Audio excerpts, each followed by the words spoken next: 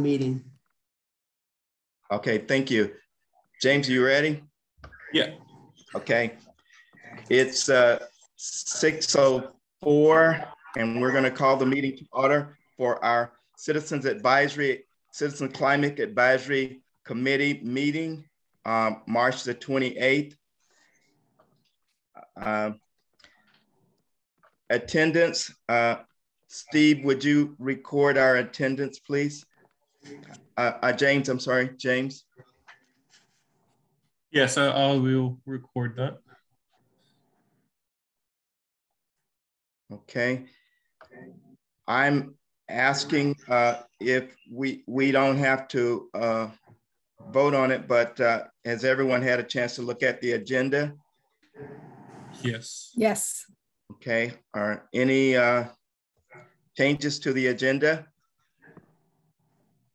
No. Okay. Hearing none, we're going to go ahead and uh, accept the agenda. Uh, reviewing our February 21st meeting uh, minutes. Uh, if everyone had a chance to look at it, any any suggestions, any changes, corrections? All right, hearing none, seeing none, uh, we're going to go ahead and uh, accept those. Okay, moving to uh, the fourth item on our agenda tonight is uh, is our uh, guest speaker. Uh, is our consultant for the ICLEI, uh, Matthew Cates. Hi, hi, Matt. Hello, thank you for having me. You're welcome. Thank you for coming. Um, we can go ahead and uh, let you introduce yourself and then tell us what you're uh, what, what you're going to do for us on that report. Sounds good. Well, hi everyone. It's nice to meet you all. I see some familiar faces, um, so it's good to see you. Um, I'm Matthew Katz, a program officer at ICLEI USA. Um, I'm going to be presenting the results of the Alachua County greenhouse gas inventories. So we did a community-wide greenhouse gas inventory as well as a local government operations inventory. Um, so I'll be presenting those as well as discussing uh, a few things related to ICLEI um, as well as next steps. Um, so yeah. Okay, welcome. We look Thank forward you. to it. Uh, okay, at this time, uh, Matt, you can go ahead and start your report. Awesome. All right, I will share my screen. Go ahead and try that. If you if you have any trouble, just let me know. All right, I think I can.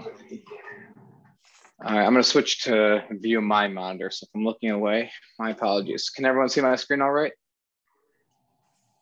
Yes. Yes. All right. Well, like I said, um, I'm going to be presenting on Alachua County's uh, inventory results and next steps for, for both the community-wide and government operations inventory. Um, I um, want to give a, view, uh, a bit of a background on ICLEI. Um, if any of you were present for the Gainesville report that I did or the presentation, then this may be a little bit repetitive, but I do want to make sure any newcomers um, do understand what ICLEI is, who we are, what we represent. Um, we are a um, global network um, working with more than 2,500 regional and local governments across the country, across the world. we are active in 125 countries. Um, and um, within the United States, we um, represent a very large portion of the country. Um, we like to, um, we, we support um, sustainability policy and drive local action with the various pathways that you see listed below.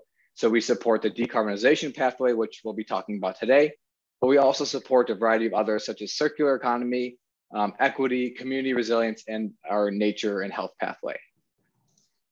Um, so as I mentioned, um, our USA network is one of the biggest in um, ICLEI in the worldwide um, in the worldwide network. But for the United States specifically, we have over 325 members across the country in over 45 in, in 45 states. Um, within Florida, we do have um, Florida is one of our largest states for our network. Um, but again, we uh, our our network spans across the country, um, so we're you know certainly expanding uh, month by month. But um, yeah, we we do represent all corners of the country. Um, our membership um, not only includes counties and local governments, but also sovereign nations, um, educational and cultural institutions, and then also regional governments. Um, I think I mentioned that, but you know we do have a lot of regional governments as well.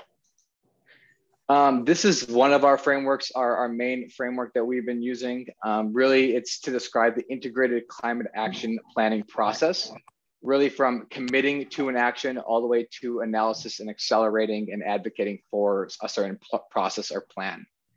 Um, for the low emissions pathway, um, which we're working on right now, which we've supported Alachua County and also Gainesville for, um, you know, we just did the analyze phase, which we again are supporting the inventory work for.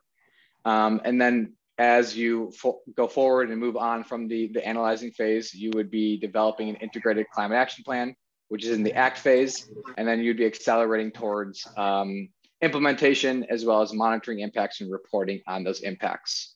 Um, so again, these are a representation of our tools for the low emissions pathway. Um, we have the inventory um, forecasting and planning, um, monitoring and tracking, um, and then reporting. So th again, this is all um, part of the process, um, building up to a climate action plan, all the way to those following the, the approach after a climate action plan. and I'll get into some of this a little later on in terms of next steps. Um, a quick mention of how we support our our members. Um, I'm getting a little bit of feedback just in, just in case um, anyone else is, if you do want to mute. But just to describe how um, we are supporting our members, um, we provide a variety of guidance and resources, um, you know, depending on what the, the community is looking for, what step in the climate action planning process or sustainability journey um, they're in. Um, we provide, you know, expert reviews, quality control checks of a variety of reports and processes, um, we provide technical one-on-one trainings um, and, and, technical one-on-one calls, as variety um, and a variety of other things. Um, this, um, just for your information, the, the work we did here with Alachua County was what we would call a fee-for-service opportunity, a fee-for-service contract where you know the, the county is paying us to do work on their behalf. Um, so getting into the specifics, the results of the community-wide inventory.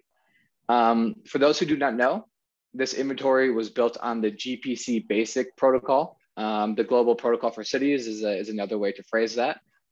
Um, B, um, the GPC is the baseline for this inventory, but there are other additional sectors included, such as industrial process emissions.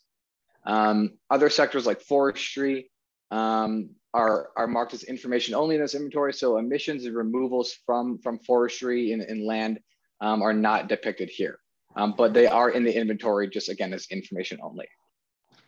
Um, so what each sector represents is, is, rather straightforward. The energy sectors are again, um, stationary combustion and electricity usage within those sectors, residential, commercial, and industrial.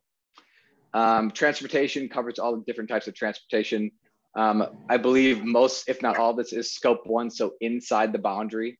So this would be on-road transportation, all the passenger and freight cars on the road, or freight vehicles on the road, uh, public transit, um, aviation, off-road, and then freight rail. Um, we also have a solid waste sector, which covers the waste generation, um, the composting, and the landfill gas flaring. We have a wastewater and water sector, which is the emissions from wastewater treatment, as well as um, you know septic tank systems and things like that. We also have a process and fugitive emissions tab, which is um, covers uh, fugitive emissions from natural gas distribution, as well as process emissions from any type of industrial facility. Um, so just to kind of go over this at a high level, electricity usage was the largest source of emissions. 34% um, of all emissions were from electricity usage. Um, mobile combustion, so really that on-road transportation is the second largest source, which with also around 34%. So those are the dominating sectors, dominating activities, electricity and mobile combustion. Um, we also have stationary fuel combustion, which was only 4%. Um, I do want to note here that you'll see that um, Argos Cement LLC, the, the, the cement production facility within the county, um, represented roughly 21% of emissions. So that was around three, that was the third largest source of, of emissions. Um, looking at the community-wide pie chart, um, you'll see that this is a fairly normal breakdown of, of community-wide emissions. Um, this is, you know, a pretty similar breakdown to, to Gainesville. Um, you know, it, it differentiates in little by little, but again, it's generally the same, same thing. Um, you'll notice that of the 4.25 million metric tons of CO2e total, uh, just under 40% was transportation and mobile sources. Um, around 21% of these was process and fugitive emissions. Um, again, most of those, um, most of that 21% is coming from cement production. Um, and then the industrial sector, industrial and commercial sectors are following with 14%, um, um, sorry, residential and commercial sectors are following with 14% for residential energy and 20% for commercial energy. Um, and then you have some smaller sectors such as industrial energy with 4%, um, solid waste with 2%, and then wastewater and uh, water with 0.3%. Um, so again, I would say that this is a very standard makeup of emissions. Um, with a community um, such as Gainesville, a lot of transportation is going on, a lot of electricity usage. So again, this, this is um, completely normal. Um, before I jump into the government operations um, breakdown, is there any questions on this pie chart or anything like that? or do we uh, take questions after? We, we can uh, we can take questions probably as they come up. Uh, okay. I, I, Matt, you said this is typical. Um, is this typical with the 21%? Um, and, and looks like commercial is larger than residential. Is that the same as would be in a in in most cities? Yeah, that's a great question. So when I say typical, um, the, the, the makeup of transportation and energy emissions does look pretty typical. I would say if you have a large industrial facility like a cement production facility, this is generally what inventories with that look like. Um, a large presence of industrial emissions for sure. Um, and with um, comparing commercial and residential emissions, um, it really depends, but with the with the presence of University of Florida um, and other commercial entities, I would say that this is a pretty um, this is pretty typical to have electric to have commercial electricity dominating um, other sectors. Okay. Yeah. Yeah. I I, I will say um, for most inventories, um, you know, you have transportation emissions hovering around a third of all emissions. So you know that is pretty um, typical as you you see here. Mm-hmm. Okay. Yeah. Um, yeah. Matthew, okay. did you check whether so you've included UF within commercial energy? Yeah, that is correct. So we didn't um, break it out. Um, however, the Duke because Duke Energy serves University of Florida, um, their commercial data is um, includes University of Florida. So I think that they do have their own uh, green initiative plans. So just to be good to make sure that it's not being double tallied within their own inventory.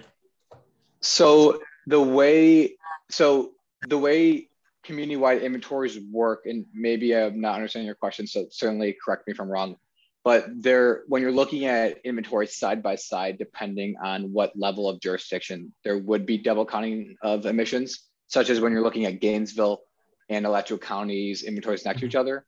But that doesn't go to say that you know there are certainly emissions that are um, there, there are emissions that are certainly unique to both inventories but also emissions that that are um, that are intersected hmm. Um, and I'll actually show you some comparisons to Gainesville um, in a couple slides. Okay. So moving on to government operations inventory. Um, so this inventory was built upon ICLEI's local government operations protocol. Um, so ICLEI, along with a variety of stakeholders from other organizations, um, universities, et cetera, um, a couple, I would say maybe more than 10 years ago at this point, have developed a local government operations protocol it still is today the standard protocol for government operations. Um, so what this really represents, um, um, almost 100% of these emissions are owned and operated by the by the Alachua County government. Um, we do collect all, we do collect data on all of the um, activities, facilities, et cetera, that Alachua County owns and operates. However, um, some of this inventory does include activities, sources, et cetera, that um, the, the county doesn't um, quote unquote own or operate. Um, what I mean by that, a, a solid example of that is employee commute. So the government doesn't own and operate that activity. However, they have an influence over that activity. So we do include them in a government operations uh, inventory. Um, so just to kind of run down the, the sectors, we have buildings and facilities. Um, buildings and facilities, again, is just the electricity and stationary fuel usage of those buildings and facilities, all owned by Alachua County. We have the vehicle fleet. Um, this vehicle fleet, again, is all on-road and off-road fleet vehicles owned by the county. We have employee commute. So again, this is estimating the amount of emissions um, coming from um, the travel of employees to and from their residences and, and to and from work. Um, we have solid waste, which is an estimate of waste generation. Um, this is not, um, this is what we would call scope three emission because this is just emissions from the generation of government operations um, waste generation. This is not a landfill owned by the county because they don't own a landfill. Again, this is just coming from the government waste generation. Um, similarly, for water and wastewater, this is not um, emissions from a, um, a government owned operation. This is rather just emissions coming from the generation of that water and wastewater. Um, so the treatment emissions coming from that generation. And last but not least, um, we have process and fugitive emissions. So again, this would be the fugitive emissions coming from natural gas distribution. So when I say natural gas distribution, it's that pipeline natural gas, and there's always a little bit that is leaking from that, that distribution pipeline. So we do wanna calculate that when we can. Um, so the total emissions for government operations was just under 20,000 metric tons. Um, for those who don't know, the government operations is only a small subset of community-wide emissions. Um, so really, it's um, you know all of these emissions um, would be counted in the community-wide inventory when when you're when you're looking at the whole thing. But again, we're really just for right now focusing on government operations to see um, you know what sectors are producing the most emissions. Um, so looking at buildings and facilities, um, buildings and facilities light um, eh, sorry buildings and facilities electricity consumption was the largest source of emissions with approximately 42% of all emissions. Um, vehicle fleet was the second largest source of emissions with around 25%.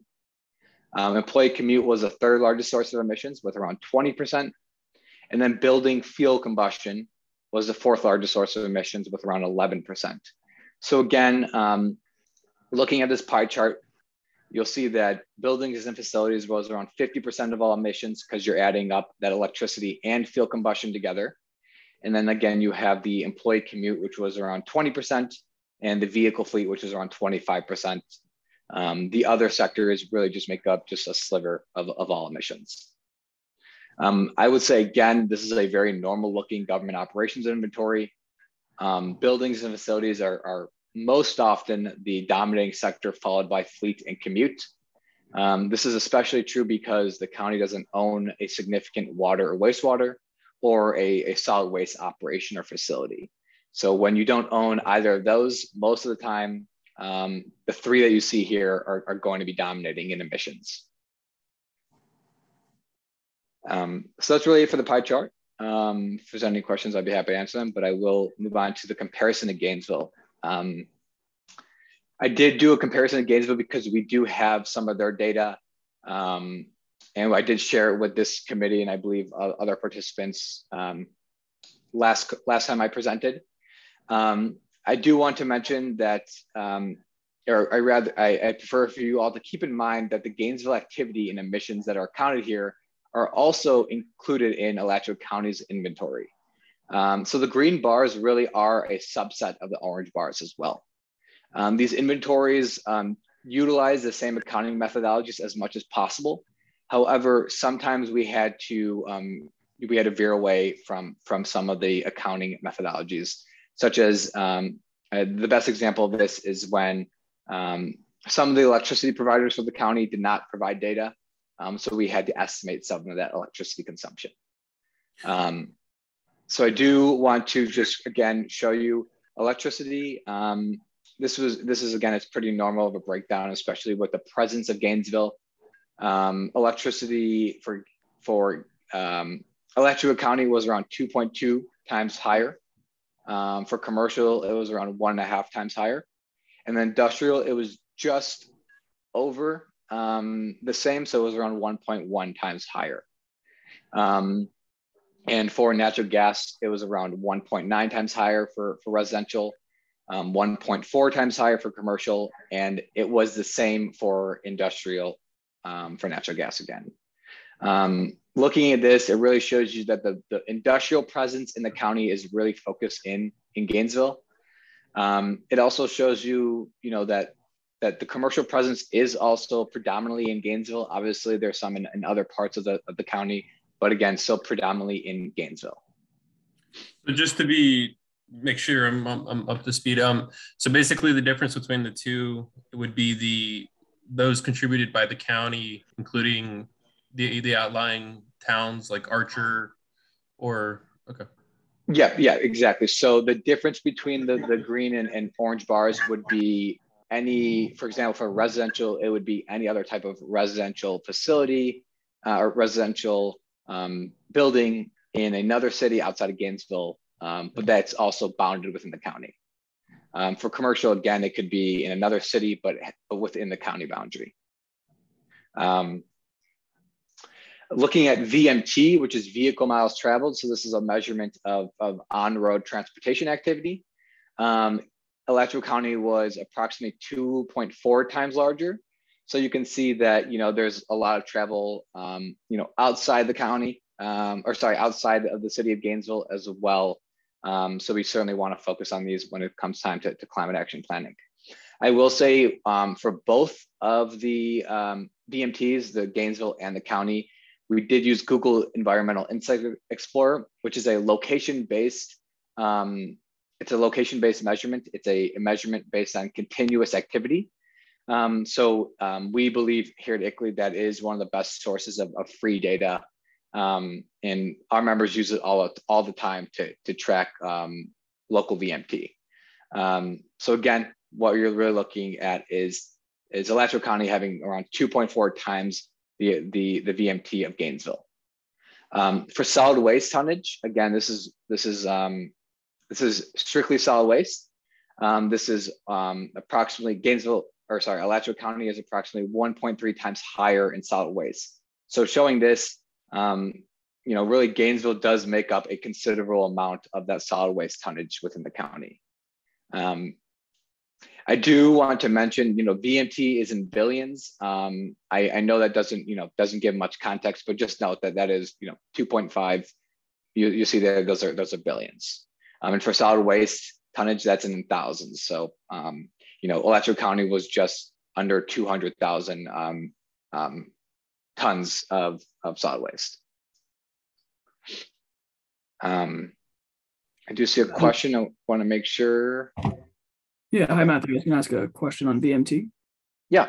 I'm curious why you chose to use that tool instead of, say, uh, fuel purchase in the county. I don't know the accessibility of that data, but yeah, yeah, it's a good question. So fuel purchase for the county, um, and um, we don't often use fuel purchase for the county. Hmm. Um, VMT is is is often directly proportional um, with with county activity, um, because well, I guess to to break down fuel consumption, um, often fuel consumption, if it's if if you can get data on fuel consumption within the county boundary, it's not it doesn't directly correspond with the activity in the county.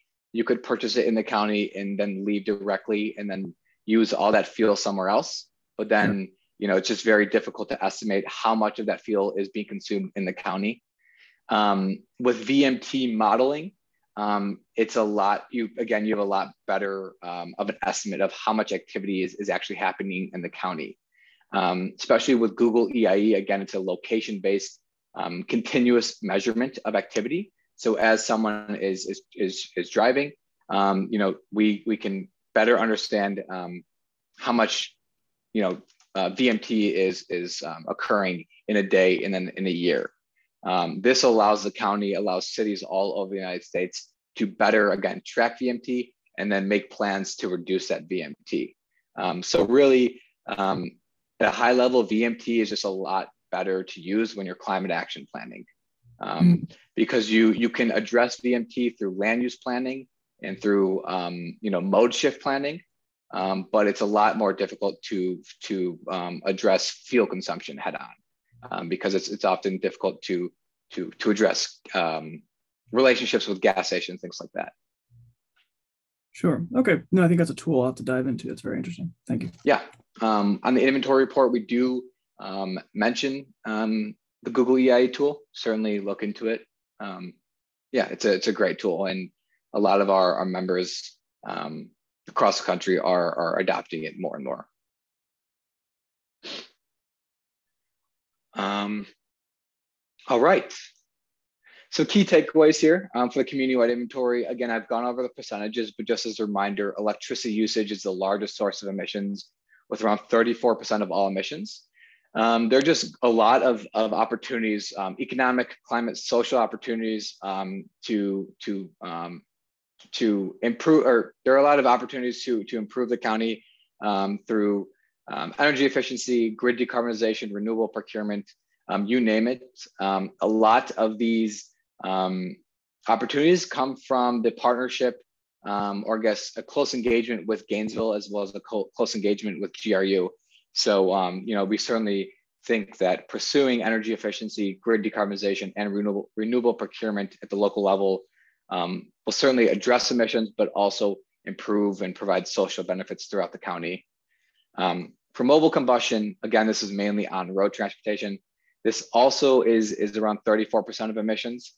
Um, County really does have an excellent opportunity to leverage community-wide vehicle electrification, um, as well as mode shift. Um, again, since Gainesville does um, own the RTS and with your close collaboration with Gainesville, you know, there is opportunity to increase transit and to to to um, to pursue mode shift um, to get less personal vehicles off the road and more public transit um, on the road, as well as to reduce personal vehicle trips and increase biking, walking trips, etc.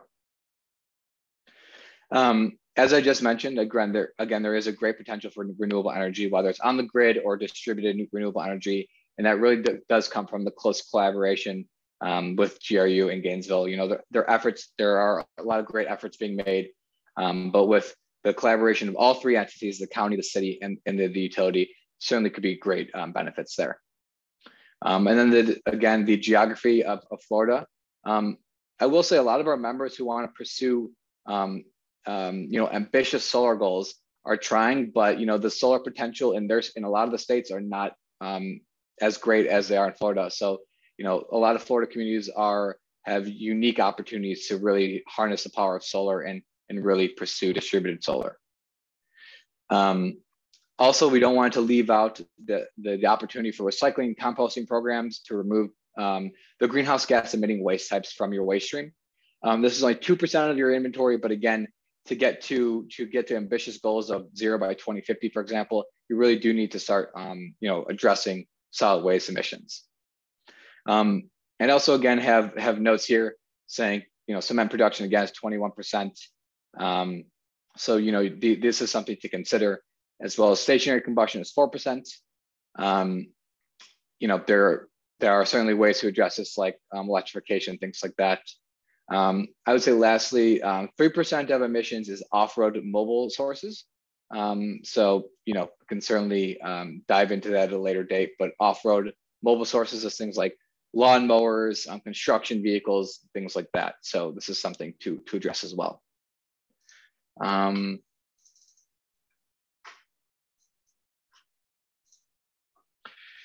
let's see, um, I see a question in the chat. Um, okay, let's see. Well, we'll move on and, and let them ask the question. Um, so for government operations, it's, it's a very similar approach. Um, building electricity consumption is the um, largest source of emissions, 42%. Um, it's, a, it's the same thing again with, with grid decarbonization and renewable procurement, um, energy efficiency, all of the above, um, those emissions can be greatly reduced. Vehicle fleet is the second largest um, with 25%. Um, and there's a great opportunity to not only electrify the vehicle fleet, but also for, for an audit of the fleet operations. Um, oftentimes, a lot of our local government members um, do audit their fleet operations even before they, they try to electrify, fully electrify or partly electrify their fleet. And they do see that there is a lot of waste of, of either um, waste in mileage, um, waste that they have their cars laying around that they don't need. Um, so, you know, auditing fleet operations is certainly a good way to reduce those emissions, um, you know, early on. Um, employee commute, again, is the second largest source of emissions, 20%. And this is a great opportunity to, to reduce emissions through, you know, work from home um, or hybrid working options. Um, you know, other types of transit programs incentivizing walking and biking. Um, now more than ever, we've seen that, you know, um, working from home is, is extremely easy with Zoom and other types of, of, um, of, of technologies. Um, you know, we can, we can greatly reduce employee commute emissions. Um, building fuel consumption is the fourth largest, um, and that's 11%. And really the only way to reduce um, building fuel combustion is to just fully electrify buildings. so that those certainly need to be addressed head on to, to, to reduce, really to reduce those emissions. Um, and then the same thing again, um, there, you know, with, with renewable energy and electrification, energy efficiency, et cetera, um, you wouldn't see enhanced greenhouse gas reduction. Um, so next steps, um, Tom, if you want to ask your question, or you can certainly just send me a chat about vehicle electrification, I'd be happy to answer it. Um, um, or did you want me to ask it now or later? Oh, go ahead. All right. Um, I'm, I'm asking for my own education. I don't have a point of view here.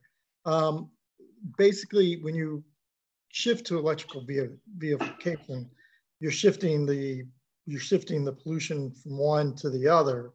It, does that mean it'd be more efficient at the power plant for them to deal with it because you still have to generate that energy? I, am not. I'm I'm all for EV vehicles. I'm just saying somebody posed the question to me and I wasn't fully educated enough to be able to respond to that. Yeah, it's a great question. Um, you know, it it first and foremost, um, you know, you are right. The the um, the demand for electricity, um, there, there would be an increased demand from electricity um, as more and more EVs are being adopted. Um, that would obviously, you know, more generation would need to happen.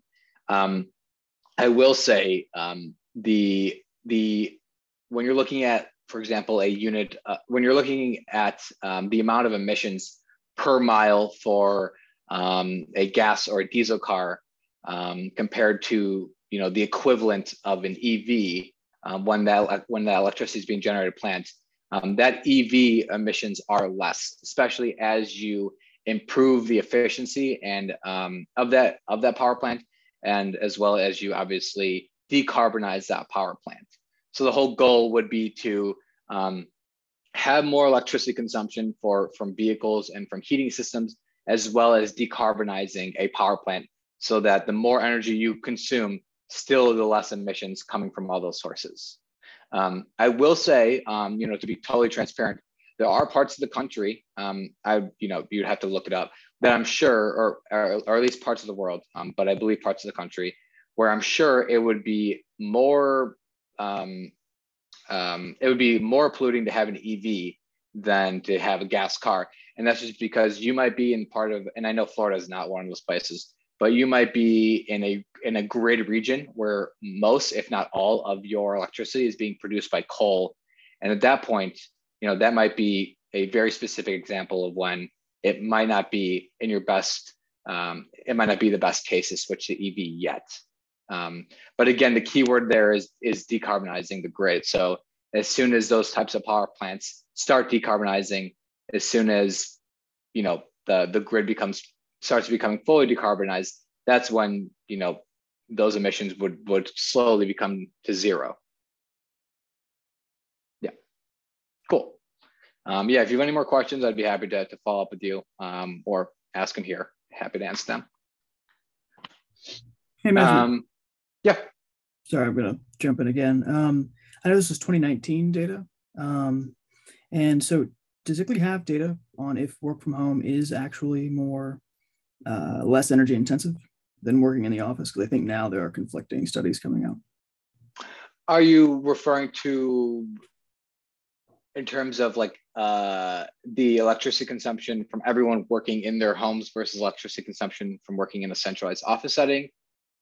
X, X, Y, and Z factors. Um, but it's just showing that it's not it's not as clear now that it is less energy intensive, given yeah energy use is one. But yeah, I would certainly be interested in looking at those, um, and I, I, can follow up with you on those. I mean, you know, first off, one on one, the employee commute emissions would obviously just decrease because there wouldn't be commuting if everyone was working from home. That's that's the obvious. Um, I will say I um, I'm not familiar, um, but certainly would would be um, would be would want to read anything that says that um, there would be a adverse effect of having people um, yeah. working from home. Um, I would say with the the current um, work from home movement, I mean, just in my personal opinion, I couldn't see there being much more of an increase in electricity consumption.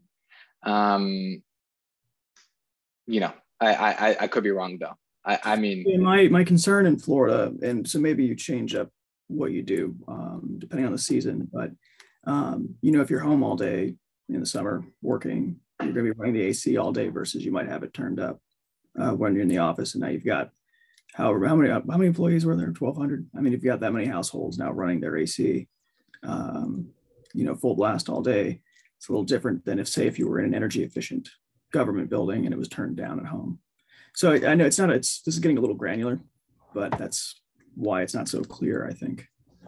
Yeah, for sure. Um, and with the the increased work from home options, um, I assume there's going to be certainly a lot more um, research diving into this. I mean, you do bring up a good point. The the peak of of um, AC demand for sure. Um, yeah, I I really don't know. It's a great question. Um, I would say ultimately, as everything shifts towards more decarbonized grid, um, obviously, then you know we would certainly see just like benefits all around.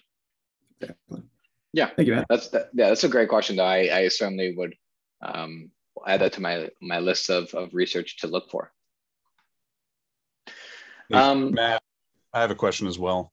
Yeah. In terms of electric vehicles and you know making that switch electrification of, of vehicles is it taking into account um, greenhouse gas emissions associated with battery manufacturing and, and end of life management?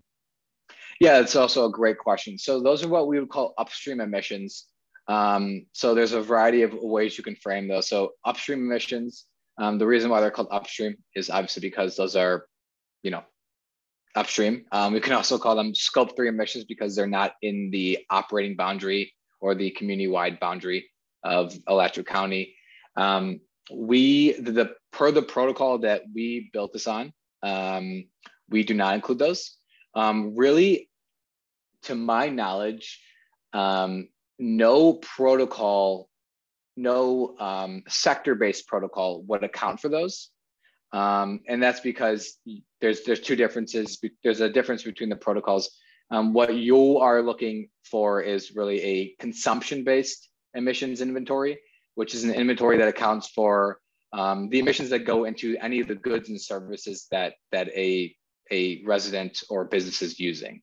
Um, so it would consider any of the emissions that a gas or battery powered car um, um, the emissions that go into to building that car and shipping it, things like that. Um, I will say, just to kind of, you know, just because you brought it up, um, we ICLEI is producing, um, and we're currently in the process of, of building two new protocols.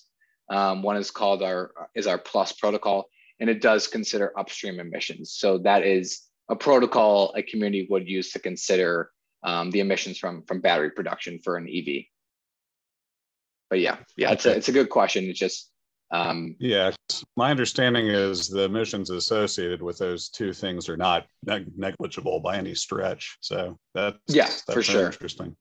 Thank. Uh, yeah, yeah, for sure. Um, I would say two things there. Um, the way sector-based um, inventories work, um, they should be working in conjunction with one another. With the consumption base, where sector-based, you want to worry about what you have direct control over and you can influence to reduce. The consumption base is again what you have influence over, um, how you can, how the residents, the businesses, the government can reduce their consumption of goods that have that are very uh, emissions intensive. Um, but yeah, no, you do bring up a great point. Um, I will say though, and I, I could be wrong or could have seen an outdated analysis. Maybe you've seen a a, um, a, a more recent analysis, Justin. But I believe the the wheels um, the the wheels to well, I think that's what they call it, or basically the life cycle emissions of an EV um, is still less than a gas powered car when you consider the activity, basically from it being produced all the way from it being in the the dump. I could be wrong, but I believe um, that is still the case. I think Matthew's right on average. There are tools, and Matthew, you can tell me if you um, if I'm if I'm wrong, but there are fleet analysis tools where you can kind of analyze which vehicles make most sense to procure for your fleet. Um, yes. And like a time frame, you need to have them in the fleet for it to make sense versus comparable um, ICE or internal combustion engine vehicles. Um, yes. So you can get a little more specific when you're looking for procurement so that based on what you have, maybe you've got a bunch of energy efficient vehicles that are pretty new. It might not make sense to transition some of those right away. Um, it'll depend once you do the fleet audit. Exactly. Um, and one of the tools you're referring to is called the Drive tool, DRVE. Um, it's it's um, by it's a collaboration tool by a couple of of partners of ours, um, friendly organizations of ours. Um, it's a great tool. We'll certainly discuss that with like the internal Alachua staff when they're ready to address government operations fleet.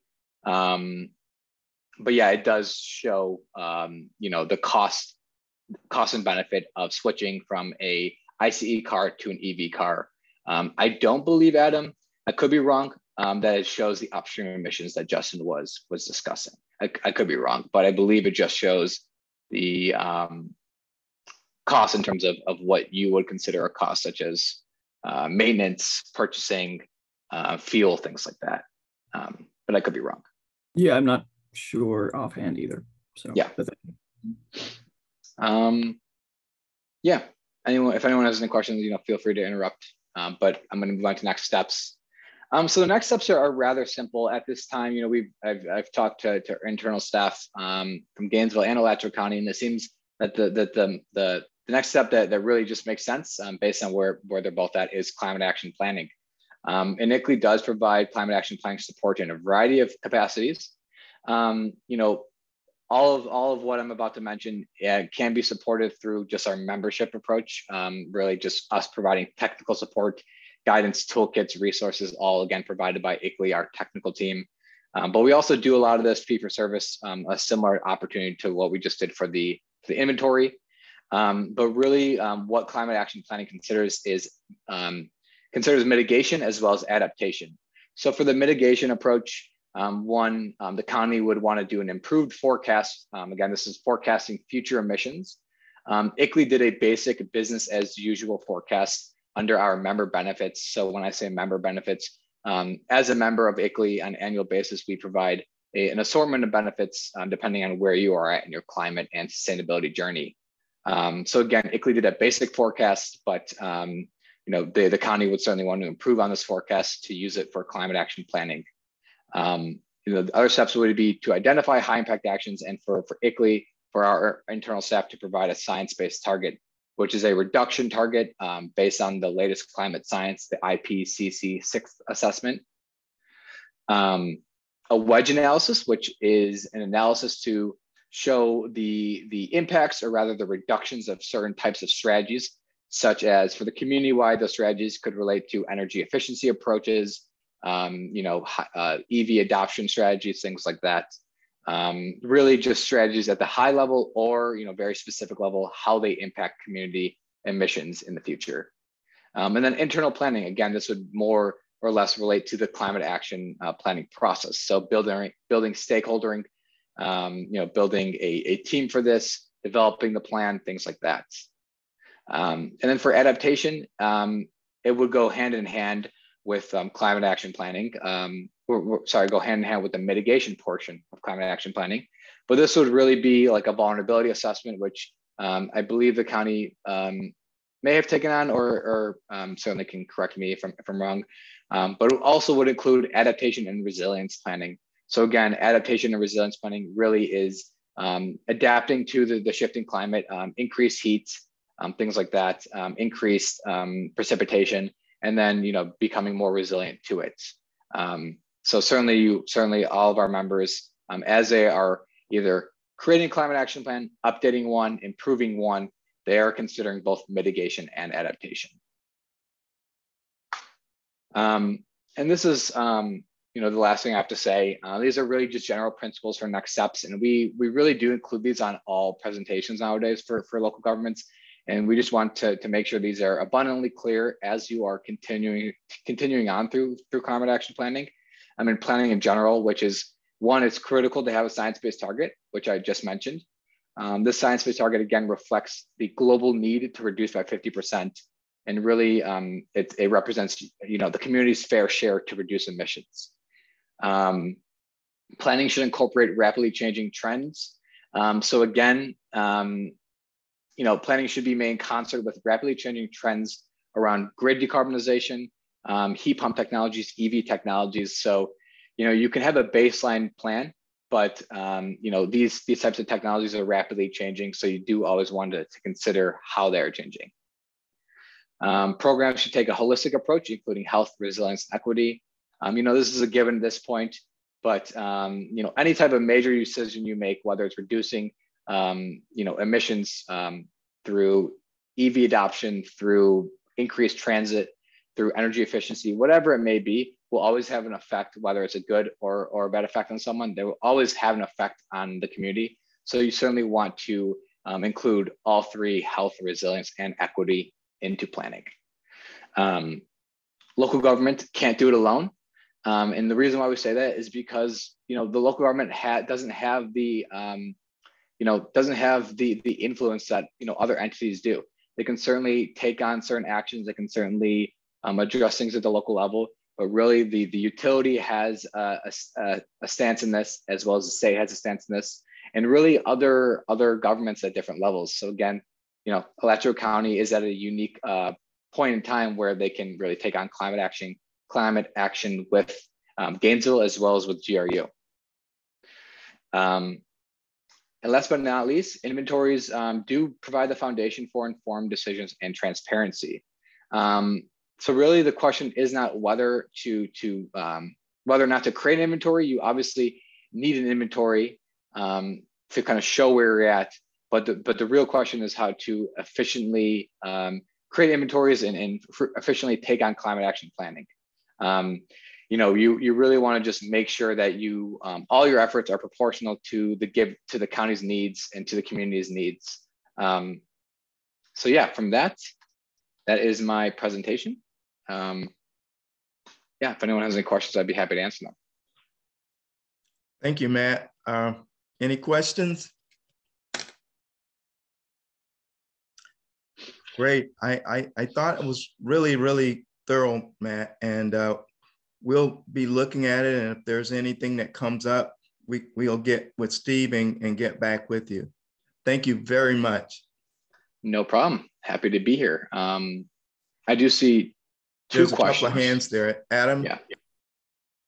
Yeah, sorry, I've been asking a bunch here. Um, but I guess one thing, um, I was wondering, uh, you know, if there are any, you know, as we're looking to decarbonize and find ways to fund these, you know, if there are financial mechanisms you recommend.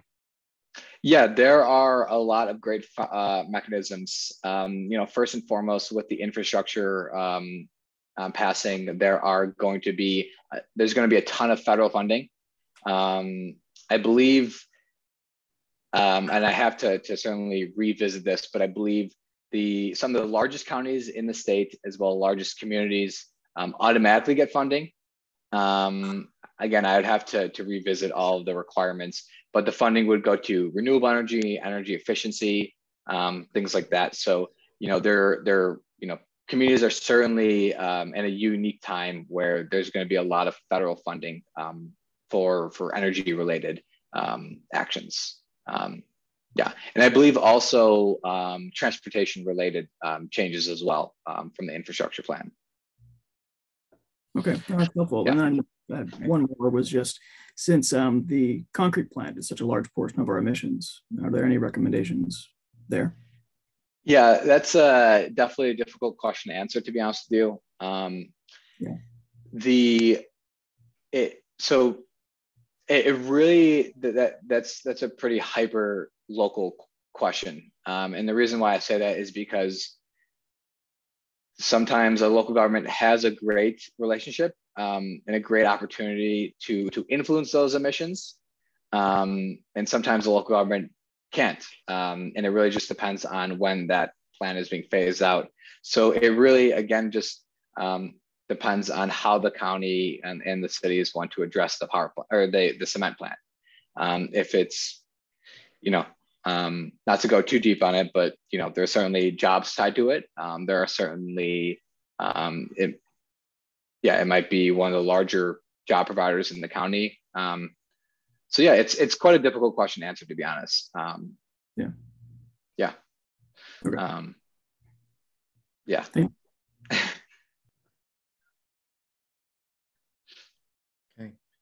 Are there any other questions for Matt? And and you know uh, we might bring that question up again with uh, with GRU in the city uh, and and county to see how what incentives that they might have uh, toward uh, the industrial sector. Uh, a lot of times they might have energy efficient motor plans and things like that uh, that, uh, that, that go with the, the commercial energy efficiency programs that might be available.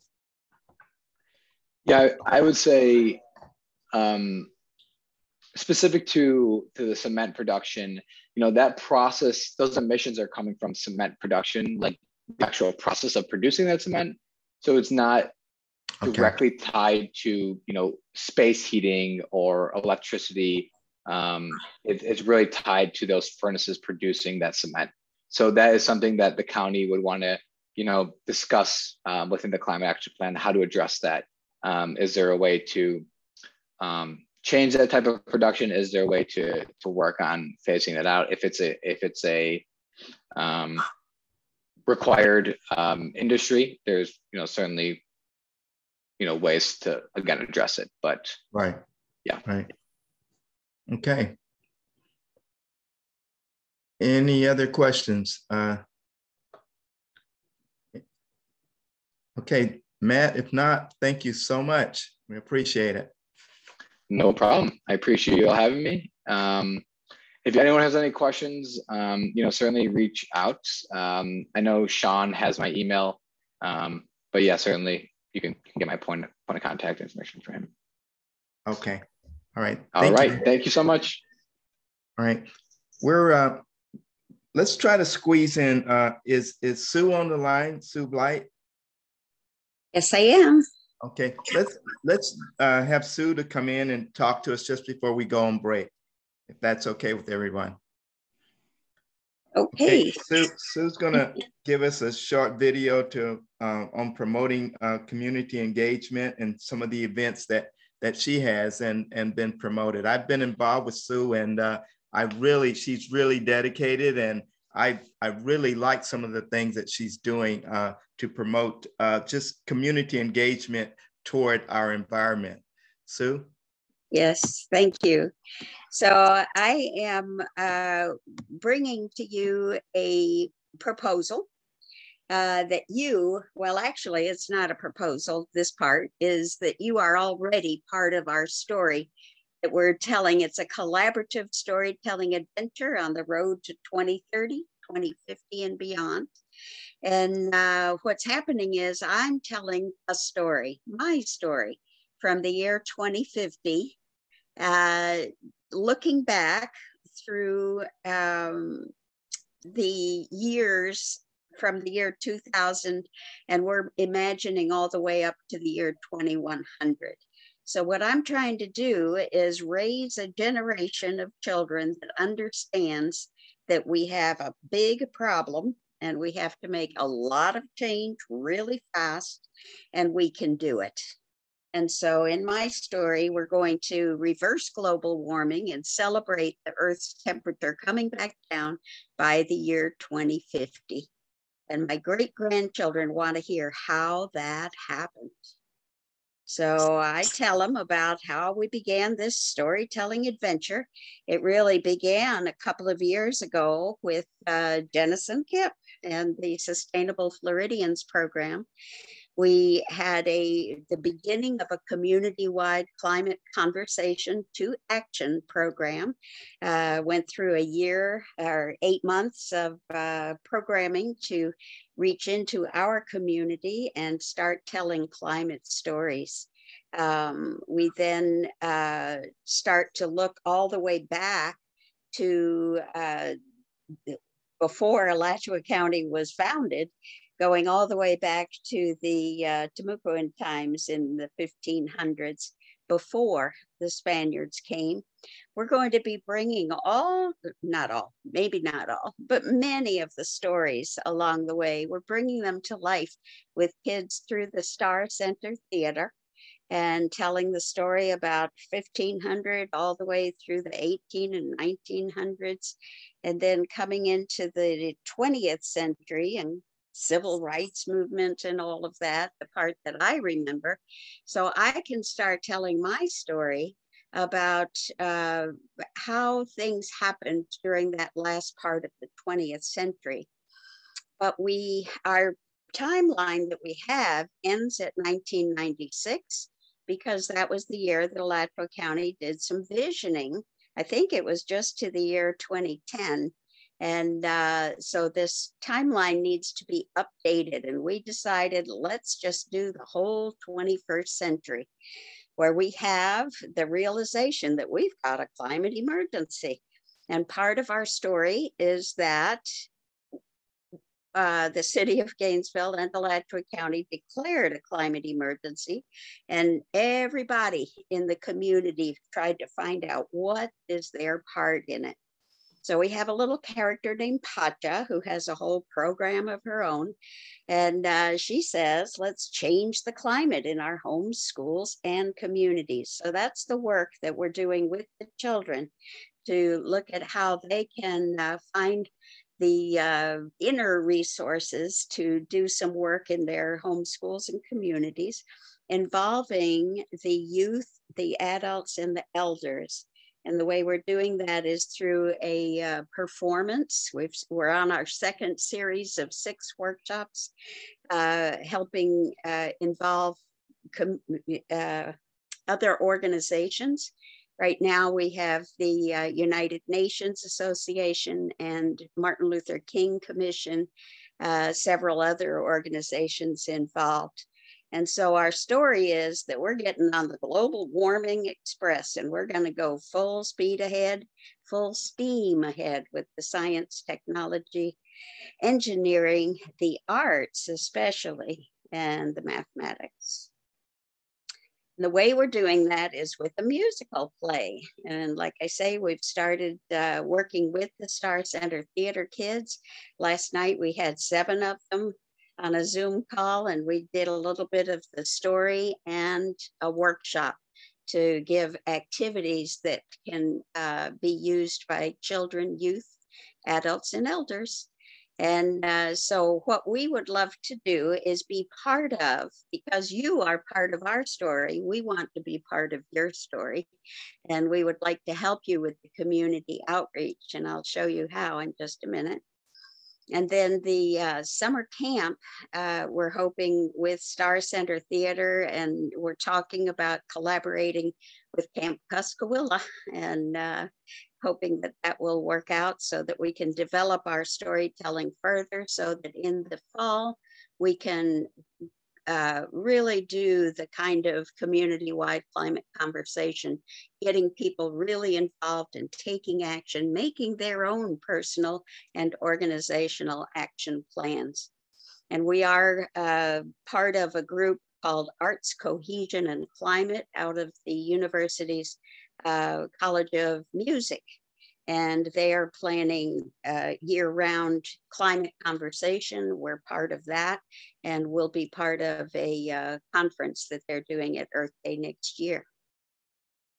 So I'd like to show you the kind of uh, invitation we would like to put together with some of the children here in Alachua County um, who can make this is about a two and a half minute uh, invitation that we did for Martin Luther King's World House. And uh, let me, I'll just show you the first part of this.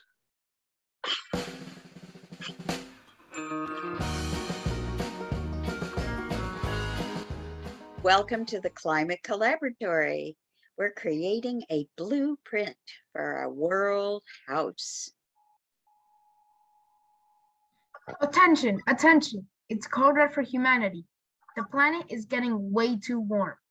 The tree of life is in danger, and many species are going extinct. We must escape this climate calamity. We need a blueprint for a better future. We just happen to have one. In 2015, the United Nations adopted 17 Sustainable Development Goals. We need to win the global goals by 2030 if we're going to escape this climate calamity. By 2030, that's when I will graduate from high school. People all over the world are helping to make a better future. We want to collect stories about how they are doing that. We're looking for climate collaborators who will help young people like us build a world that works for all. That's 100% of humanity and the community of life on Earth, our home. We also want stories and songs and books and movies and a lot more stuff that will help kids like me and Rebecca understand what the blueprint is all about. We are living the story that our great grandchildren will tell many, many years from now. In January and February, we'll use the blueprint for a better future to help build Martin Luther King's World House. In his Nobel Peace Prize lecture in 1964, Dr. King said, Okay, and I'll pause it there. There's a wonderful quote about all the people of the world coming to live together as one human family. And we're adding the words of the Earth Charter one Earth community with a common destiny. And so this is the way that we're uh, doing this and asking for stories. And I wanted to just show you one story that we have is with your dear friend, John Nix, who told us about how he is working on climate action. And so this was just an interview that I did with him on Zoom. We have done quite a few with some of the people in our community, and we're telling the story of how we all came together to uh, help make this world work for all. And so, like I say, it's to tell the children and involve the whole community in telling this wonderful story that we can do it. And uh, by golly, we're gonna. And so, I would love to be able to make a uh, similar video, uh, you know, to be determined how long it is or, or what the content is, but I would like to be able to invite people to your community engagement uh, activities that you're planning during the year so that by next Earth Day in 2023, we can have a really wonderful story to tell. Thank you. Well, well thank you, Sue. Uh, and uh, as I mentioned, I, I've been involved with you over the years, and I know the dedication that you have. And I think uh, definitely by committing our youth and getting our youth involved is a way to do that. Um, we're, we're following the same model I think we follow with energy efficiency. And if we can get our youth involved, that's the way we get our lights turned out off. That's the way we get our, our, our better gas mileage on our cars and change the way our whole way of life. So if we did it with energy efficiency, we, we can do it with, with our environmental, saving our environment also. It's just a matter of changing the way we think and changing our, our lifestyle for the bigger picture. So uh, it starts with our youth and uh, we'll be glad to work with you in any way that we can. And thank you for all your hard work. Thank you so much very exciting to see what you're doing and how we can translate that into a story so simple a child can understand and take action. Right. Right. And, and we want to make part of that story what our government is doing. Absolutely. What our what that's very important. Uh, how, what foundation we're putting together. Yes. Uh, Are there any comments or questions uh, from anyone to, to Sue at this time? Oh, Okay, uh, yeah, Jennison. Yeah, I just wanted to thank you, Sue, for your dedication. It's good to see you. And, um, you know, I know how hard you've been working on this for decades, literally. And, um, you know, I think we are at a turning point, And I just wanted to um, remind the committee and, you know, everyone on the call that we've had conversations. We've had so many conversations about how to actually turn the community engagement into a very inclusive and widespread engagement. And, you know, one of the ideas or paths that we're trying to take is to um, identify and help support these ambassadors who can serve as liaisons with our um, committee with the with the climate committee. And so sue you're a perfect example. You know i think of people like you who are who've been out there doing this work already. We really need to be able to amplify the goals of what we're doing in this community you know throughout the county and invite people in and leverage what people are already doing. I mean i just think it's a that we need that to be able to get to the ambitious goals we have to reach for our children and for all of us. But um, so, so I just wanted to say thank you. And um, if there's, I guess I wanted to ask a question of you, you know, how can we, how can the committee help you move this forward faster and amplify the work that you're already doing?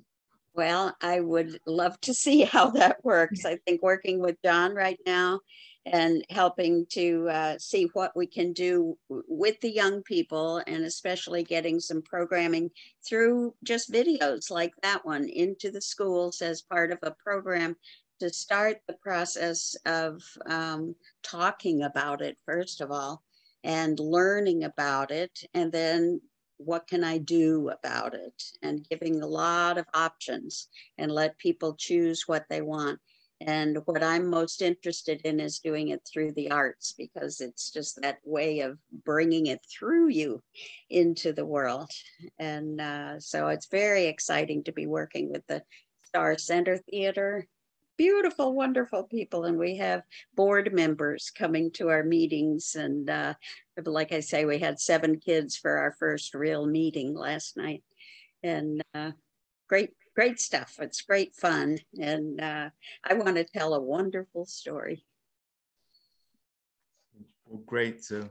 And, and uh, we look forward to working with you. And, and I echo uh, what Genesis says. We're, we're talking about communicating and we'd love to work through organizations that are already established in the community and doing work. And, and that's how we can just kind of get that common denominator going and, and get that, uh, that uh, whole realistic effect of a, of a team concept. So we thank you again and, and please uh, let us know what we can do either individually or as a group and we'll be glad to, uh, to work with you. Thank you so much. I look forward to it. Okay. Thank you all. All right.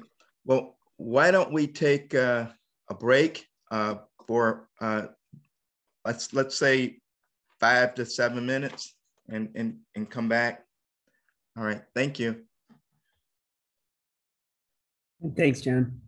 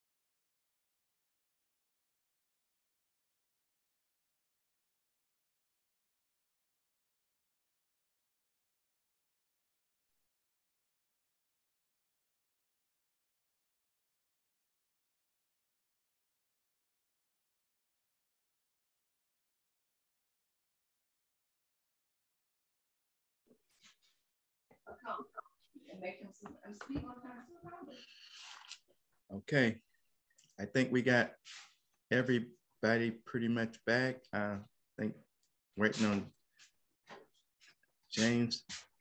Okay. All right. Uh,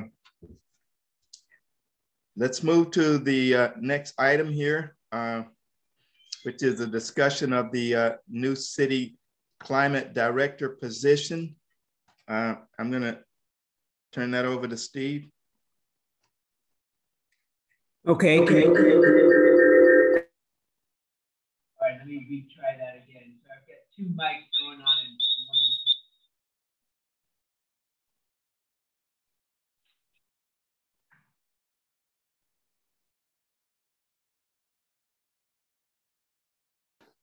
one Okay, is that better?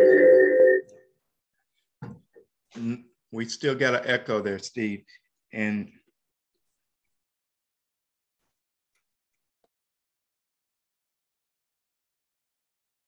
Okay, is that better?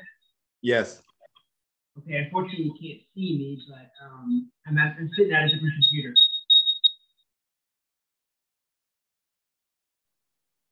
Let me go ahead and share a screen.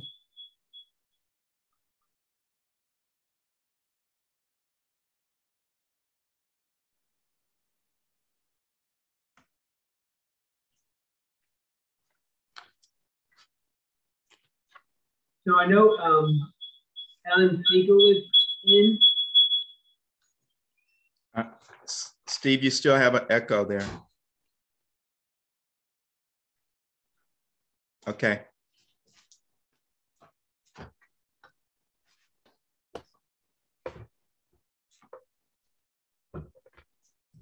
Steve, I think if you turn the speakers on your personal computer on mute as well, it won't give you this the feedback. So turn off the the mute for that computer and then also the speakers. Okay, how's that? I think that's better. Okay, thanks, James. I, I think that is working. So um, we received this document um, from the, the League of Women Voters, um, kind of li listing out recommendations for a City of Gainesville Climate Director and this position currently does not exist. And I think there's been some discussion about the hope that uh, the city of Gainesville will um, create this position um, to kind of coincide with the, the efforts that the, the, county is doing. And so they provided this document and I sent it out to everyone. And, um, you know, if you have any comments or suggestions uh, for the League of Cities, I think they're looking for input um, as well as support for, for such positions. So um, I don't know if anyone has any questions about it or or any thoughts.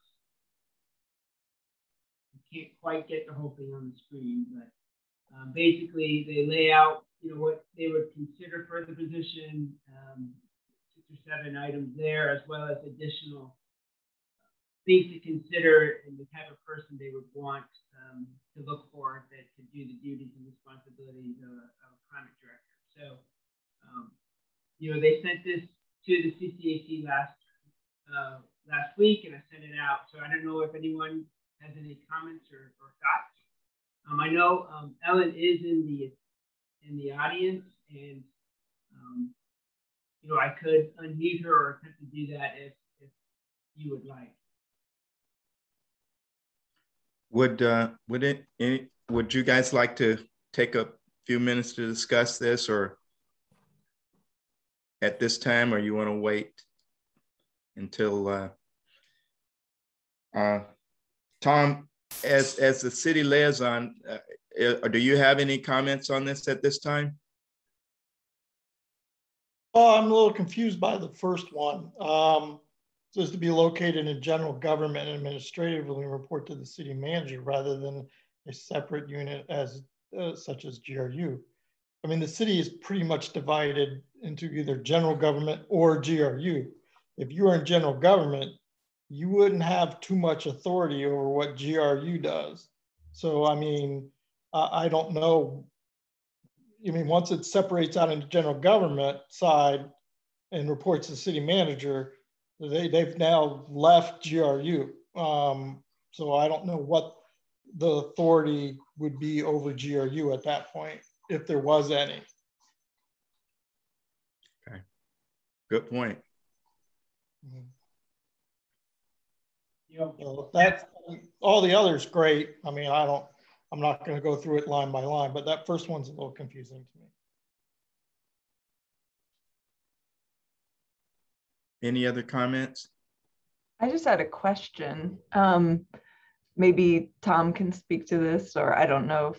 But what is the timeline for this position? And um, I guess where is the city at, and and what do you foresee in terms of the timeline for like bringing this someone in this position on board? Um, I'll tell you how low I am on the totem pole. This is the first I'm hearing of it, so I am unable to answer any of those questions. So, sorry. So I just had an idea. I don't know if it's even possible, but I mean, if it hasn't been widely advertised, if it hasn't been advertised yet, and the whole process hasn't gone through, I wonder um, if it would be worth exploring whether someone from our committee would be able to serve on the screening or screening and or hiring committee.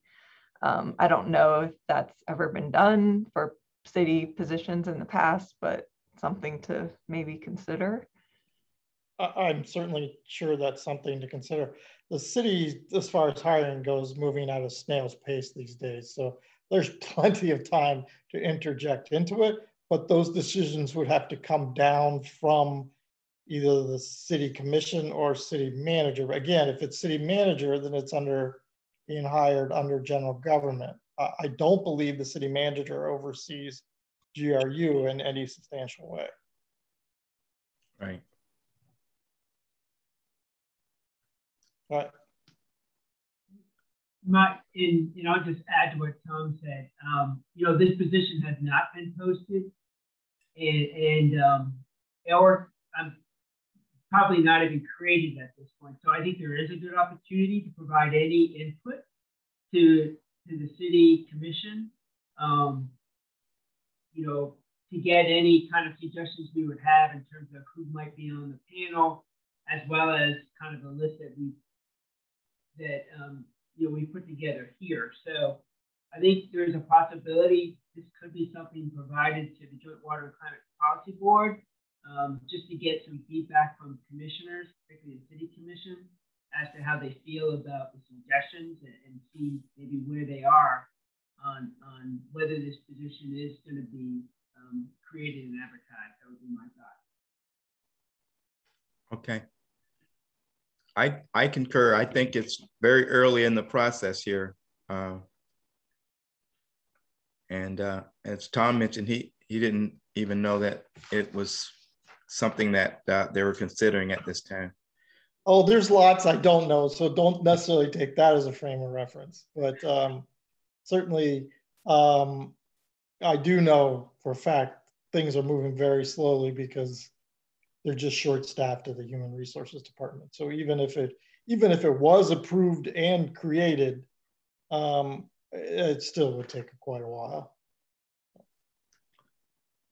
Okay. Another, I think another question, which you know I'm sure it's not answered, but you know what resources would be allocated to this um, climate director, you know, and who environmentally, what environmental roles might fall under them. You know, what is it a team? Is this an individual? Yeah, I think I think those are all up in the air, and those would be good questions to ask when this position or program is is created or if it's created. Yeah, and if additional folks are supporting this role, which I think, given the breadth of the role, it would need to be, then we need to identify that as well. Um, what that might look like. I know it'll be small, but you can't just have one working on something that's going to touch every aspect of the government. Exactly. Okay. Steve, if, if you could just maybe continue to follow up on this with us as, as well as Tom and, and maybe keep reporting to us back on, on how this is going. I'll do that, and I'll keep collaborating with Ellen and the um, League of Women Voters as well as to um, whether they have any more suggestions and at what point they may want to provide this to the city. Thank you. Okay, thank you. All right, uh, we can move to our staff updates and uh, Steve, again, we can start with you with the uh, county update. Okay, um, just a reminder, we have the Joint Water and Climate Policy Board meeting on April 25th. Can you guys hear me all right? Yes. Okay, because I'm sitting at a different spot. Um, at that meeting, we're going to have the presentation you heard earlier. We're going to have the um, uh, Matt give his greenhouse gas inventory report to them. They've heard that report on the city side as well, so it's probably be a good time for them to hear both sides of the, the report and get give him some good feedback. Uh, we're also going to hear from the city on their vulnerability analysis work that they've been doing as well at that meeting on the 25th. Um, and we'll probably give an update um, as well on, on our uh, vulnerability analysis work. We got initial um, feedback on some of the work that they've been working on, as well as we did just complete, I believe, we're, we're about finished with the survey work. So that should be going out in the next week or so. Um, the only other thing I had, John, maybe we'll bring this up after staff update, is we did get a request um, from, from citizens to express concern about the U.S. gas plant, and we don't have a forum today, so we can't make a motion or um, send a letter. But you know, if that we can bring that up, I think maybe after staff comments.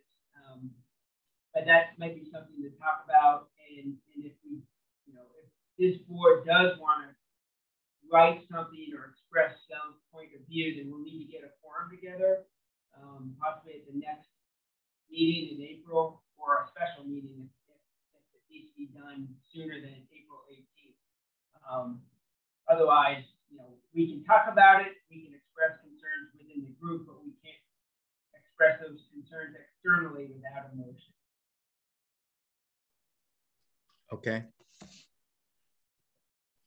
All right. Any questions or comments for Steve? I have a question. Amanda? Uh, hi, Steve. I was wondering if um, you can give us an update on the climate action plan and maybe that should be an agenda item for next month. Um, just the process, the building up the sections, um, if there's still roles for us to play, if as far as an outline or even building up the sections. I know I'd like an update on that. Okay, and I, I know I owe you some some uh, material from that from the waste section of the plan. So um, we've been working on the the outline still we got a little sidetracked with some of the work that um, Megan submitted um, at the presentation from Joint Water and Climate Policy Board, kind of shifted directions a little bit and kind of reorganized how it was presented. So somehow we need to pull that together and figure out how we can combine what Megan presented last month um, with kind of those target issues versus the categories we had in the outline. So um, staff needs to pull that together, and uh, I'm going to bring that up with the, the, the staff system planning group or climate planning group next month to see if we can pull that together um, so that we can get we can let you all know where we are in that and how you guys can then give us feedback. So, man, it's not much of an update, but but yeah, I'm kind of juggling two different approaches right now and how we can piece those together effectively um, without losing ground that we did initially on the original outline. Okay, thank you. So, so Steve, in hearing that, you, you, do you think by the next meeting, by this April 18th meeting, would that be enough time to give an update or would you not want to put that on the agenda? Uh, that's probably, I, I, can do my best, but we probably won't be ready at that point um, honestly, between preparing for the um, Joint Water and Climate Policy Board on the 25th and um, my department budget deep dive is on the 19th as well. So the timing of getting that pulled together is pretty slim. I probably would would ask to try to bring that in May if possible. Um, just because I'll be honest, I don't think I could get that done. Actually, May would be the next meeting. Um, no, I'm sorry, April then May. So yeah, I, if you could give me about a, a month and a half or so to, to pull that together, that would that would help me out if I could work towards May. Okay. All right. Thank you. All right, uh, Amanda, are you are you happy? You good? I think yes. Jennison has a question. Thanks. Yes, I see it. Jennison is next. Yes, go ahead, Jennison. Thank you, John. Um, yeah, this is actually um, uh, to Ellen's comment that she dropped in the chat about the methane plant. Um, and I'd like to move that maybe we that we include on the agenda for next month a discussion specifically about the CCAC and our capacity and willingness to, you know, put forth um, a statement or a letter if when we, we would have to have a quorum, but um, I would ask that we put that on the agenda to discuss as an issue and then all of us our homework would be to you know make sure we're up to speed on where that's headed because um, it's moving fast. And so i think that's something we'd want to address sooner rather than later but then in the discussion i'd also like to have a discussion about um, how we just uh, this will kind of set a precedent for you know, if we release a statement on policy or any investments or decisions that are made by the city or county or any of the municipalities, like do, you know, how do we go about doing that in, in a mm-hmm. way that is um, productive as opposed to counterproductive? Yeah. Okay. Uh, Steve and I talked about this a little bit today. Okay. And, and I'd like uh, on what our position as as an advisory committee uh, versus the commissioners. And uh, I, would like Steve just to tell tell us tell the committee what what he thinks about how what kind of statements we can make. Okay, so I can and I can give you an example. But so this committee provides recommendations and suggestions to the City and County Commission through the Joint Water and Policy Board. So what you would normally do is you could do it in the form of a letter, you could do it in a statement, you could do it in a presentation, but you would bring your concerns to that board and present it to them. Here's here's the issue we have. Here's why we are concerned. Here, and then you could even put here's our recommendation of what the board should do. So you could you could suggest that they, you know, publicly express concern or even lay out options for them. And then they would decide how they want to do it. Um, give you an example for EPAC, the Environmental Protection Advisory Committee. They were concerned about um, the, the water bottling plant and um, that we had, you know, last year's Nestle plant. And so they wanted to express concern. They, they originally said, send them a letter to the state where they they can't send a letter to the state. They had to ask our board to provide a letter to the state in opposition to the Nestle water plant. So that's the approach that this board would have to do. They would express, you know, what what we support or don't support, ask the board um, or recommend that the board take some kind of action, either in a statement or in a letter to UF. Um, and then kind of lay out why you, you think um, the city or the county commission should take those types of action. So um, it wouldn't be a type of situation where this board would directly send a letter to UF. It would go through the, the Joint Water and Policy Board. Okay. Are, are there any questions about that? I that's the way I understood it too, that we would recommend to the commission and that the commission did a certain thing. Given the pace at which this is progressing, would it make sense to call a special session just to get this letter together and or work out our position? Uh, I'm I'm all in favor of if if there's uh, that's something that you know Steve could send out and and find out if if we're you know if we we we can do something like that if most people are willing and wanting to do that. Um,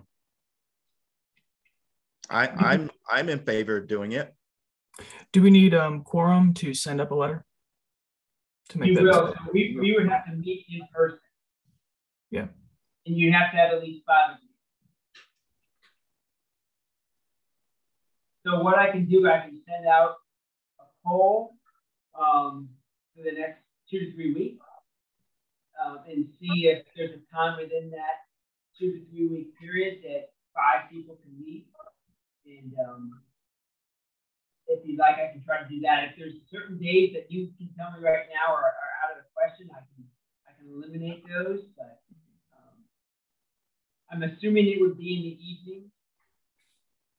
Yeah. Well. Um, April 4th through 6th for me, I know I'm not available, if that helps narrow down uh, your doodle poll.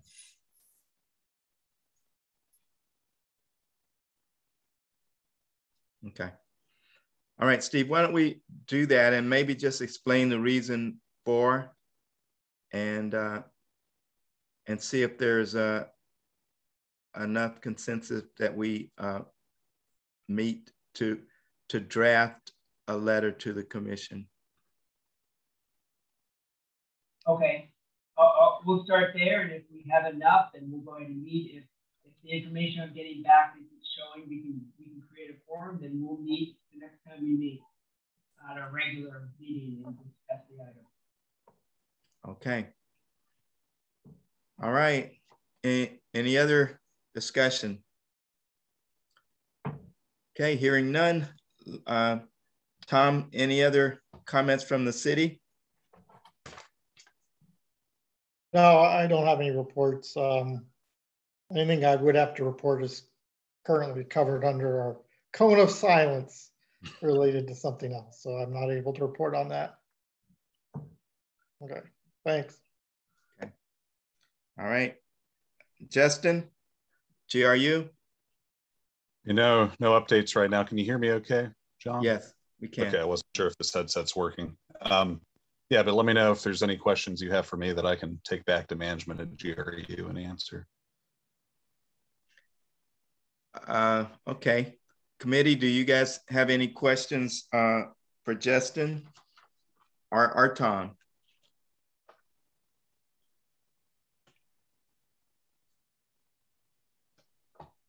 All right.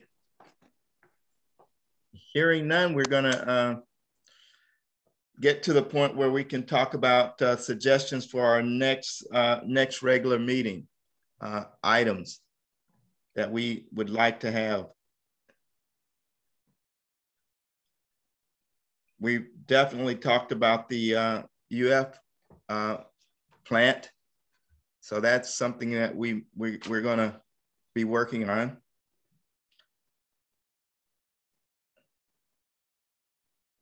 Uh, any other suggestions?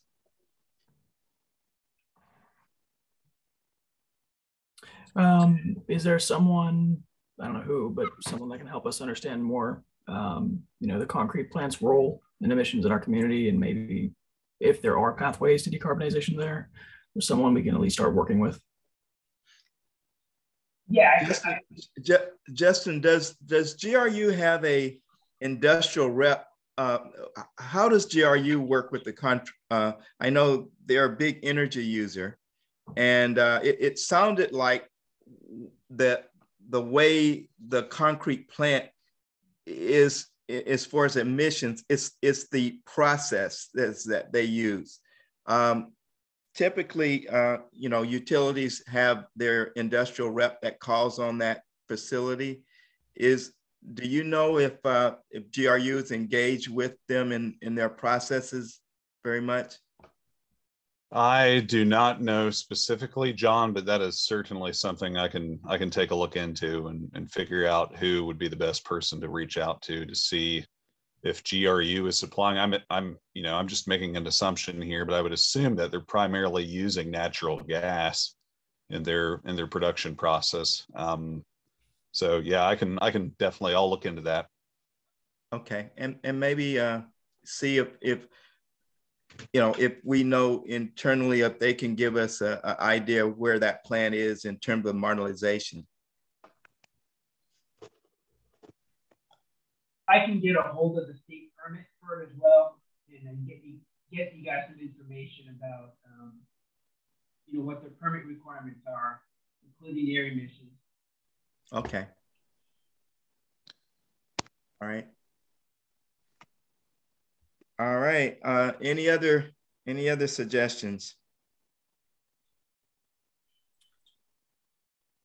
I don't know how much time we have in the agenda, um, but you know, it looks like we're going to have to start looking at the fleet as well. So I don't know if there's a fleet manager that might be able to provide insights into the age of the fleet, uh, the city's processes, and you know, uh, procurement updating, uh, just to kind of hear from them how difficult it will be to transition. Okay. If that's two uh, months, we can push that to another month, but I'm just throwing ideas. Okay.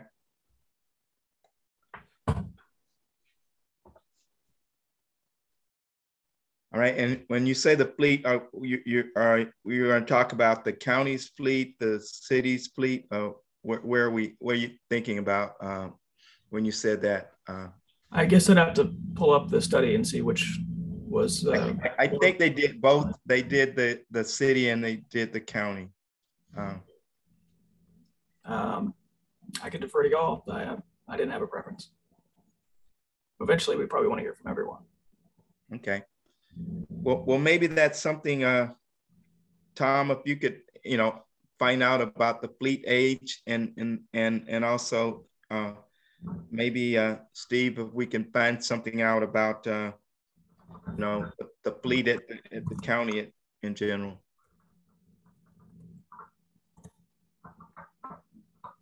Yeah, I can, I can do that. Okay. And I know there's comments in the chat. There's reference to the city recently buying, you know, new buses with the federal money.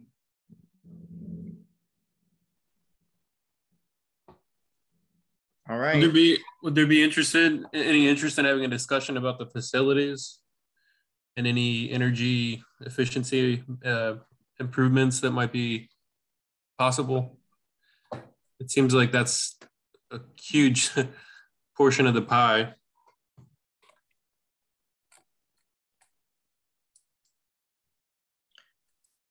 Yeah, I can I can respond if you like.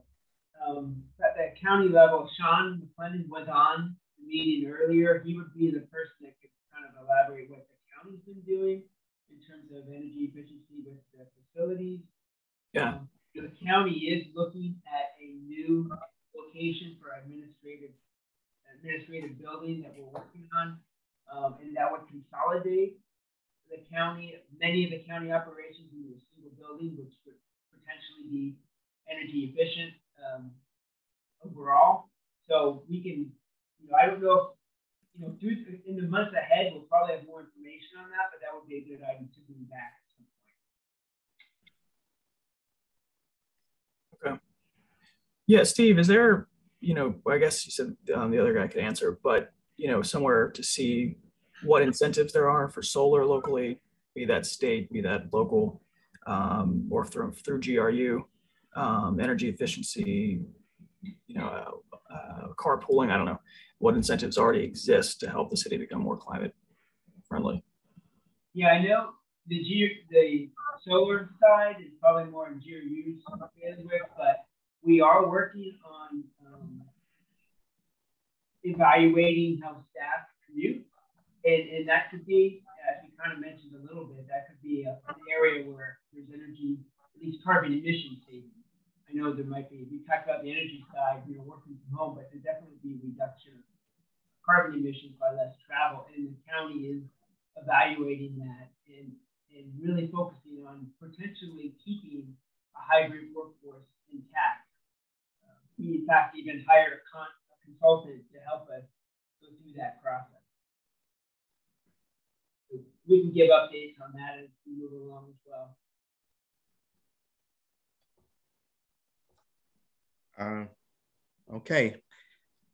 I, I, uh, Justin, maybe um, I'm, I'm not, I haven't heard recently, but it would probably be nice to know if, if GRU has what energy incentives it has, uh, programs it has right now for residential and commercial. Uh, if, if they uh, uh, update on, on their energy efficiency program. I, I, I don't know if it's changed recently, but what what uh, incentives they offer uh, both on the commercial and the industrial, uh, commercial, residential, and industrial side. Okay, I'll look into that. Okay. And here's here's kind of one uh, that's uh, just been on my mind. I don't know if this new infrastructure bill will be funneling money to the local municipal, uh, but I think that's a real possibility. And I don't know if anybody's really given a thought to what what that use is going to go towards. Uh, but it would be really interesting to start having that conversation. Um, I know a lot of it's going to be going towards, you know, like it's an infrastructure bill. So.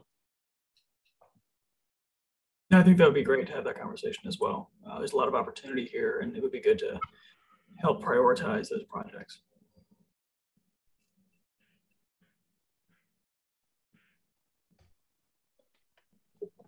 All right.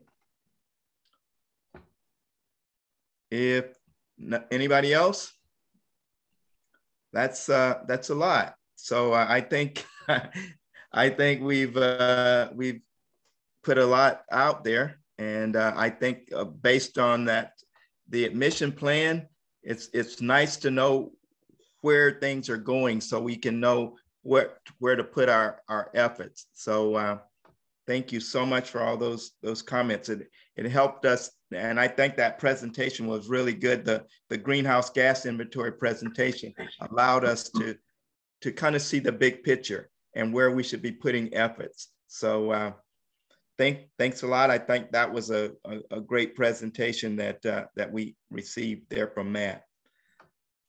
All right, uh, recap. James, you wanna just kind of give us some action items? I uh, I've been taking notes through the entire meeting. I, I don't have any specific tasks for anybody I, uh, other than Stephen. Um, let's see. So Stephen will follow up um, on the. Let's see. So okay, let me back it up a little bit. Um, we had talked about making a special session. We're going to send out a doodle poll. Uh, Stephen will be seeing if we're available over the next two to three weeks. Um, if we do have that, uh, we're asking the uh, committee members to be knowledgeable and prepared to, to discuss uh, UF's infrastructure uh, plan with the power plant. Um, let's see, we were given, let's see, uh, Steve's also, like I I have that. Um, I think Stephen and Justin Smith were going to get information about the cement uh, industry, um, trying to get an idea of who regulates that industry, uh, and maybe some contact information for that. Um, I think Stephen was going to follow up and get some information on who to talk to about the fleet and who might be able to inform us about that. Um, let's see. Elimination. Uh, I think in May, Stephen was going to give us an update on the climate action plan. So, uh, general outline of the progress that's been made and, and what room uh, we might have to make any um, any have any influence or make any suggestions uh,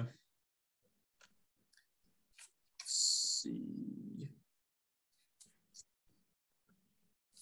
And we had discussed, I wasn't sure we landed on this, but we had discussed discussed with this new uh, position that um, we looked briefly at for the, uh, let's see, where's the title? The new city climate director position. Uh, we did ask if we could, somebody from the committee could serve on that hiring committee, but there wasn't, there wasn't a great sense of urgency there because it's going to be a slow process. Um, and yeah, I think that's everything, unless somebody else can highlight something I've forgotten. One, one other thing, uh, I'd like, uh, we had requested that maybe Justin give us an update on the energy efficiency programs that GRU had uh, on the commercial and industrial and residential side.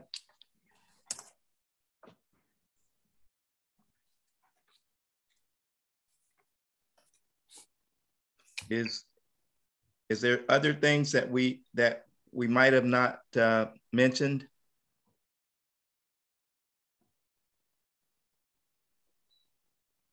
Okay. Thank you. Thank you very much, James. Um, all right, uh, Steve, we're at the point uh, public comment. I think I saw a question from Janice. Okay, I'll, I'll, I'll um, let me try to have her to top. Let me take off. Okay, Janice, you can try. Yes, I am I there? You are. Super. Thanks so much. I so appreciate um, everybody's input and the time and expertise that you folks um, volunteer uh, for us and our community. And I really, really appreciate it. Um, I was uh, kind of disheartened. Gosh, it's probably been three or four weeks ago now that um, I read an article in the Sun that I believe it was part of the infrastructure monies that the city was planning on buying uh, 24, if I have that number correct, um, buses, all of them fossil fuel buses. Um, and this just doesn't seem like the time to uh, be buying a new fleet with uh, fossil fuel buses. And I didn't know if there would possibly be an opportunity for this group to comment on that or look into that. Okay.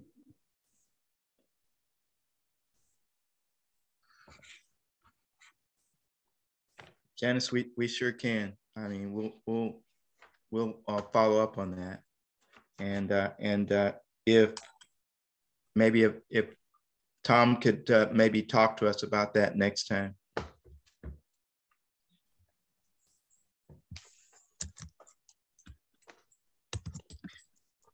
And I'll reach out, but I don't know how far I'll get because that's a, probably an independent. Well, RTS is their own thing too. Um, and I don't know the specifics of it. Maybe they have to buy the buses within a time frame and electrical buses aren't going to be available within the time frame that they have to make the purchases. But I'll look into it as best as I can. Okay. Okay. Thank you, Tom. All right.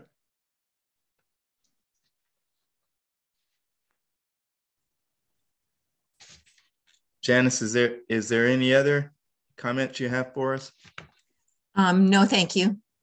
Okay, well, thank you so much for bringing that up. I, I also saw that. Um, Steve, any other public uh, comments out there? I've, I've unmuted Ellen if she has any, otherwise. Aren't you? Thank you so much. Am I unmuted? You are.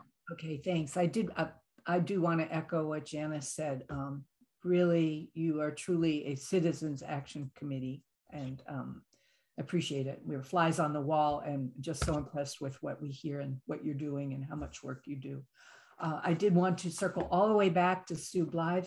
Um, I've also worked with her, and her her approach is not academic in any way. Um, it's not high level but it's absolutely grassroots. So I just want to uh, support what John is saying. Uh, anything that we can do as a Citizens Climate Action Committee when we move more into engagement. She's really a very, very excellent point person. and I know we talked some about faith communities. She's a, um, a very good link into faith communities as well as the children. So I, I did want to just put that out there for the for the minutes. Okay, thank you. Thank you, Ellen.